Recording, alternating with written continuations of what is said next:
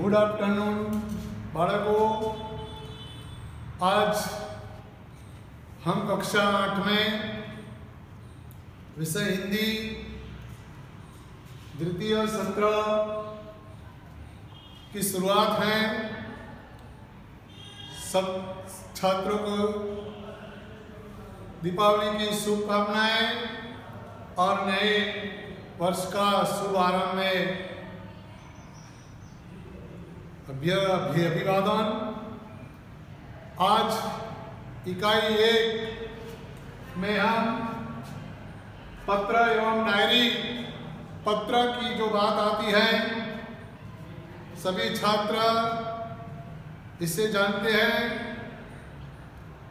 कि आज का युग में मोबाइल फ़ोन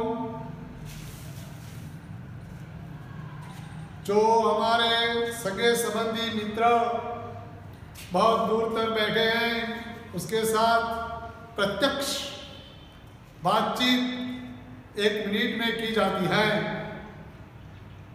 चाहे हमारे हिंदुस्तान से दूसरे देशों में बसे हो, इन सब के साथ हम ईमेल मेल और ऐसे दूर दर्शन के द्वारा भी दूसरों के समाचार हम जान सकते हैं और पहुँचा सकते हैं।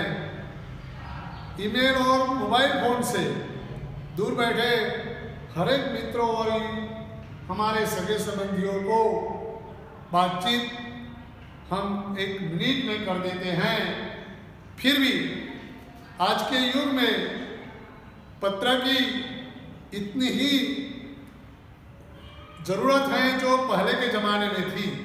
आज के युग में है, लेकिन पुराने के ज़माने में मतलब के पहले के ज़माने में जब ईमेल नहीं था और मोबाइल फ़ोन नहीं था टेलीफोन की व्यवस्था न थी उस वक्त हमारे जमा जो बात करें पुराने ज़माने की तो लोग पैदल या गुड़स्वार या प्रशिक्षित शांति दूत कबूतर के द्वारा संदेशा एक दूसरे को भेजा जाता था।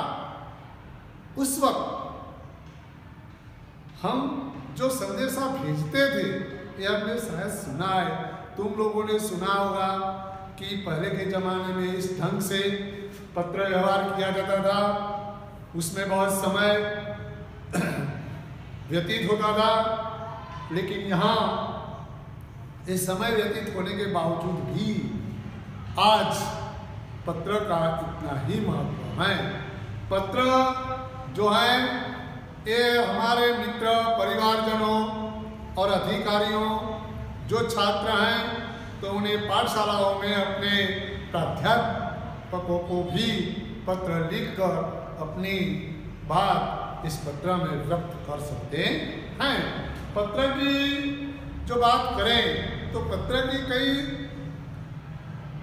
ऐसी बातें हैं कि पत्र ज़्यादा नहीं होना चाहिए जिससे कंटाला आ जाए। पत्र में जो शब्द का इस्तेमाल किया जाता है, ऐसे शब्द होने चाहिए जिससे पूरा विवरण पत्र में समा जाए और ढंग से अपनी सरल भाषा में व्यक्त करना है। इस पत्र के जो रूप हैं, इसका हम सभी छात्रों को बताना चाहते हैं कि पत्र लेखन के जो निम्नलिखित रूप है, रूप का मतलब होता है प्रकार। वैसे देखा जाए तो उसका तीन प्रकार हैं। पहला पत्र है व्यक्तिगत व्यक्ति। व्यक्ति जो है, इस प्रकार के पत्र में व्यक्ति अपने परिवारजनों और मित्रों को व्यक्तिगत पत्र लिखे जाते हैं। और इन पत्र में निमंत्रण पत्र आता है, बधाई पत्र आता है, आश्वासन पत्र आता है अनुमति पत्र और प्रार्थना पत्र इसी श्रेणी में ही आते हैं।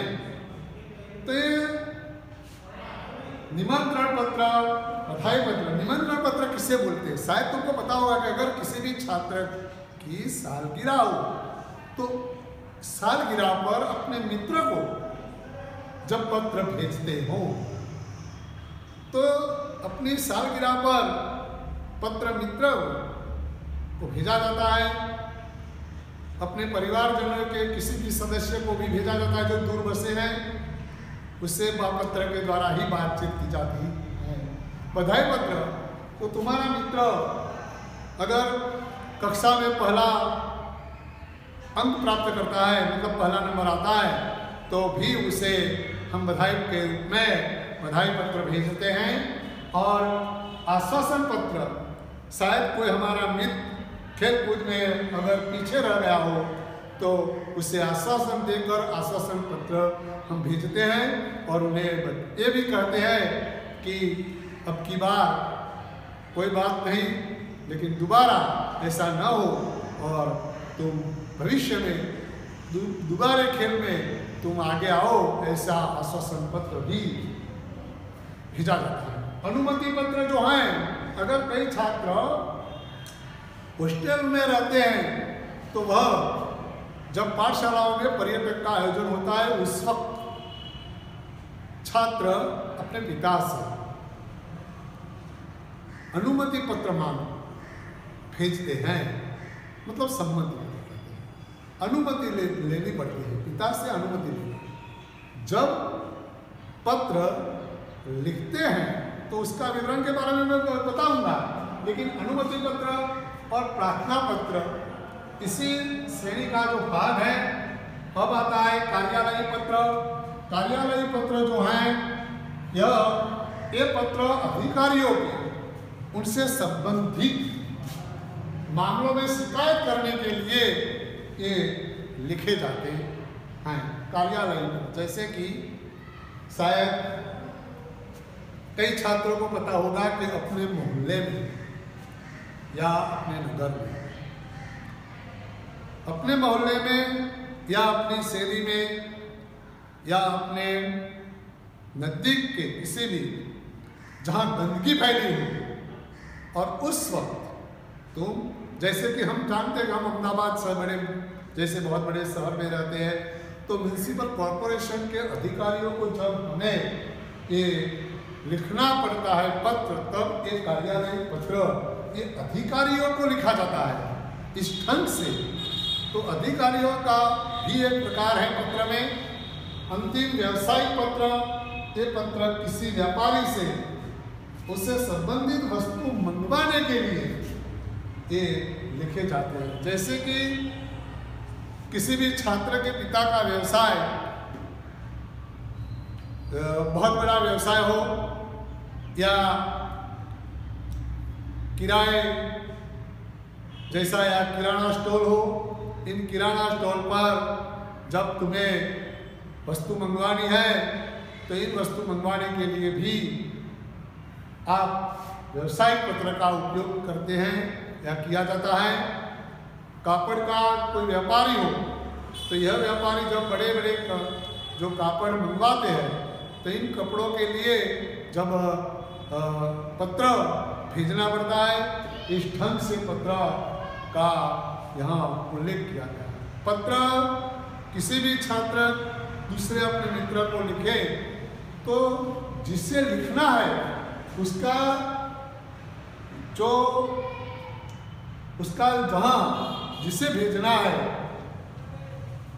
तो यहाँ दिनांक लिखनी है और उसका सरल भाषा में पूरा बाई ओर लिखना है।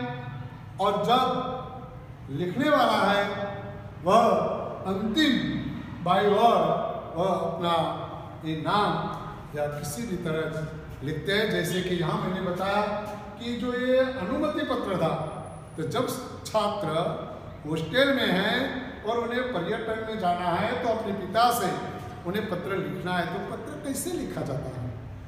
जब छोटों के लिए तुम लिखते हो, तब तुम तुम लिखोगे।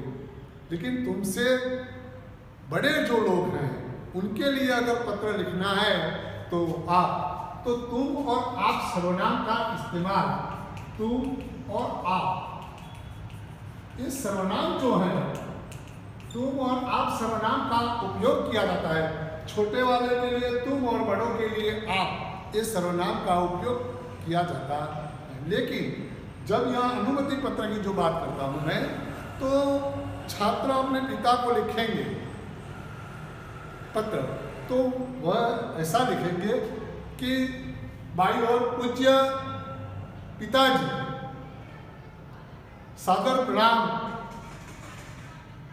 और जो पत्र लिखना है, इसका पत्र ज़्यादा बढ़ा नहीं होना चाहिए, कम पंक्तियों में लिखा जाना चाहिए, उसका विवरण ऐसा होना चाहिए, जिससे सामने वाले को ऐसा न लिखे कि यह कोई आलोचना है, कि यह कोई उपन्यास है, ऐसा भाव न प्रकट हो। तो ये पत्र की बात आती है तो पत्र इस ढंग से लिखते हैं। माता पुत्र को जब लिखती है तो वह चिरंजीवी पुत्र के नाम से लिखती है और वह अंतिम जब पुत्र लिखता है कि अपना अज्ञानकारी पुत्र नितेश या विनय इस ढंग से, और माता जी उसे चिरंजीवी पुत्र को लिखकर अंतिम ममता भरी माता का प्रणाम इस ढंग से, और पिता का प्रणाम, बड़े भाई हो तो बड़े का, छोटे भाई हो तो छोटे जैसे इस ढंग से पत्र लिखते हैं और उसका विवरण भी होता है। पत्र लिखने के लिए सभी छात्रों को कभी कभी अपने मित्रों को पत्र लिखने का भाव प्रकट करना है। तो पत्र लिखना है और पत्र लिखने के लिए तुम्हें दिलचस्पी रखनी है। पत्र हमारी पुस्तिका में जो दिया हुआ है तो इस पुस्तिका में दिए गए पत्र में निमंत्रण पत्र भी है, बधाई पत्र भी है, आश्वासन पत्र भी है, अनुमति पत्र भी है, प्रार्थना पत्र भी है, कार्यालय पत्र भी है और व्यवसायिक पत्र भी दिया हुआ है पुस्तिका में। तो ये सभी छात्र पत्र दिए हुए हैं। सभी छात्र पत्र तुम्हें लिखना है सभी छात्रों को गृह कार्य में और उसे ढंग से पढ़ना है। पत्र की बात जब संबंध आता है, अभिवादन कैसे लिखा जाता है? अंतिम, जैसे कि आज्ञानकारी पुत्र जब छात्र अपने गुरु जी को लिखता है तो परम पूज्य या नमस्कार गुरु जी परम पूज्य गुरु जी ऐसे ढंग से लिखते हैं। अंतिम, जब छात्र लिखता है तो कहता है, अपना अज्ञानकारी शिष्य रमेश या महेश इस ढंग से लिखते पत्र लेखन के बाद हम यहाँ डायरी लेखन की बात करेंगे डायरी लेखन तो डायरी लेखन किन्हें, किसे कहते हैं डायरी लेखन? डायरी लेखन एक हर कि सभी व्यक्ति अगर हर रोज अपने जीवन की जो गाथा बनाना चाहता है तो डायरी हर रोज लिखी जाती है, हर दिन। उसको दैनंदिनी और दैनिकी। डायरी तो अंग्रेज़ी शब्द है, लेकिन हिंदी में हिंदी में उन्हें या उसे, हिंदी में उसे दैनंदिनी या दैनिकी। दैनिकी लिखी जाती है। परीक्षा में पूछते हैं कि डायरी लेखन को हिंदी में कौन से शब्द से पुकारा जाता है? तो दैनंदिनी या दैनिकी शब्द से उन्हें पुकारा जाता है तो सभी छात्र को ये ख्याल रखना है कि दैनिकी में जो डायरी है, डायरी लेखन में पूरे दिन का विवरण आ जाता है। पूरे दिन में किसी ने क्या काम किया है? क्या अच्छा किया है या बुरा किया है? ये सब दैनंदिनी में लिखते हैं। तो उसको डायरी लेखन कहते हैं। डायरी लेखन की जो विशेषताएँ हैं तो डायरी लेखन का विवरण सरल होना चाहिए क्रमबद्ध होना हो, होना चाहिए और संबंधित होना चाहिए। डायरी लेखन की लाभ भी है विशेषताएँ हैं डायरी लेखन की जो विशेषता ये भी हैं कि यह किसी टिप्पा टिप्पणी में या टीका टिप्पणी जो है, उसमें नहीं आना चाहिए। और वह वास्तविकता होनी चाहिए। डायरी वास्तविकता लिखी जानी चाहिए। उससे लाभ ये होता है कि अगर व्यक्ति जब बड़ा हो जाए तो छोटे से लेके बड़े तक पूरा जीवन की आत्मकथा जो है मतलब उसका विवरण जो है वह दैनंदिनी में उसने लिखा है। तो इससे लाभ होता है कि उसका पूरा जीवन का विवरण मालूम होता है। और किसी भी बात का वहाँ शायद असंतोष नहीं होता। इसीलिए दैनंदिनी रोज लिखी जाती है। और साप्ताहिक भी लिखी जाती है। पखवाड़ पाक्षिक भी लिखी जाती है और मासिक भी लिखी जाती है। तो डायरी लेखन है, पत्र लेखन है, ये सभी छात्रों को ये लिखना है।